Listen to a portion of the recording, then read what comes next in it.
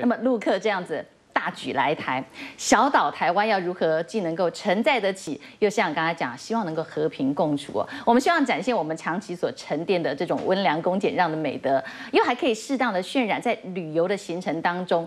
我们把那个歧视把它收掉，把友善的手伸出来，这个做法，这个目标有没有可能达到？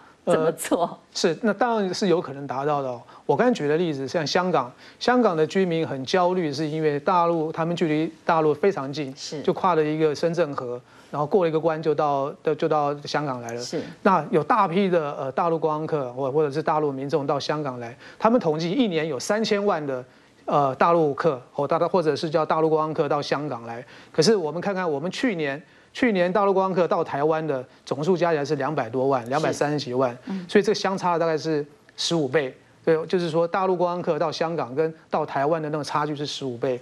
那另外一个另外一个数据，我们可以看到，香港的面积，香港的土地面积是一千一百平方公里，那台湾的面积呢是三万六千平方公里，这相差了多少？相差了三十倍。哦，所以说你从土地面积。跟人口的那个观光旅游人次的那个比例，这样一换算出来，大概是四百五十分之一。所以等于说，我们台湾其实还有很多很好玩的地方。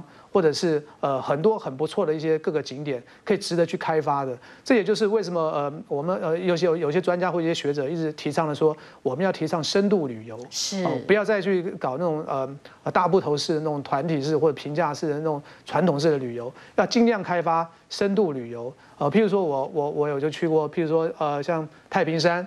呃像一个这么美好的景点，这没有几乎没很少人去，还是只有少数人去。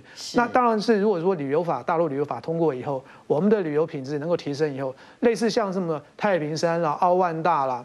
这种比较呃比较呃深度的旅游这种这种产品，其实可以慢慢发挥。我们真的可以趁势而起哦，趁着大陆推着这样子一个新的法，我们也来做一个大修正。台湾就是搞一个精致的小而美的这样一个旅游的行程和方式的话，一定是很好的。我们营造一个友善的环境，对，我们要展现我们台湾人我们最引以为豪的，我们很友善的我们的文化，还有我们真正的自己。我想这样子，也许游客还愿意一来再来。因为你人多的话，就会一定很嘈杂，然后会有紧。张嘛，所以你一定要分散分散那些人流。那我刚才举的例子，就我刚才举的数举的数据，就是说啊，我们有这么大的容量哦，比香港要多太多太多的容量。其实我们可以好好去做，是啊，我们的政府啊，我们的专家学者，其实好好去规划，这样子可以让我们更友谊、更友善的手，可以欢迎啊大陆观光客。更别忘了，那背后还有庞大的一些经济商机，对 商机在里面。谢谢严桥到现场来，谢谢您，谢谢各位观众。